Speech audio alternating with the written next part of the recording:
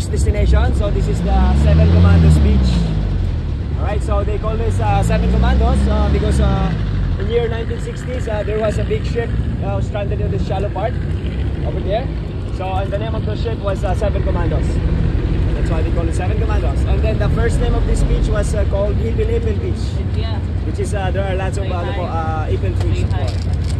Okay, so our activity here, uh, we can do snorkeling, uh, swimming, and uh, picture taking in the beach. So we only have uh, 40 minutes to stay here. Okay?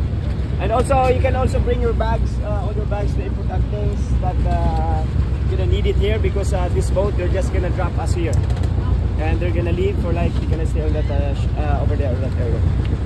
Because uh, the boat uh, can't stay longer here because it's only a loading and unloading area. And also, ma'am and sir, the swimming area is inside of that line po. So we are not allowed to swim here, okay ba? Alright, so just only 40 minutes to stay here.